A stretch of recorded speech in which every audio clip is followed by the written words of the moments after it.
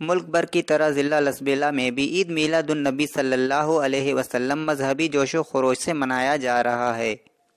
عاشقان رسول نہایت جوش و جذبے سے ریلیوں و جلوسوں کے ذریعے حضرت محمد صلی اللہ علیہ وآلہ وسلم سے اپنی محبت کا اظہار کر رہے ہیں۔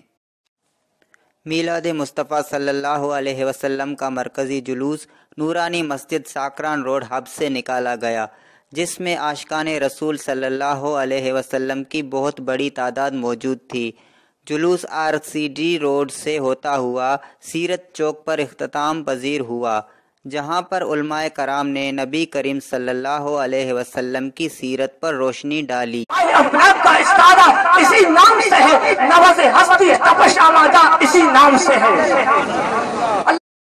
اس موقع پر سیکورٹی کے فل پروف انتظامات کیے گئے تھے، جبکہ جام غلام قادر اسپتال ہب کے medical superintendent doctor Abbas Ali Lasi کی خصوصی ہدایت پر ڈاکٹرز اور پیرا میڈیکل اسٹاف کی ٹیمیں ایمبولیسز کے ذریعے جلوسوں پر ڈیوٹی سر انجام دے رہی تھیں۔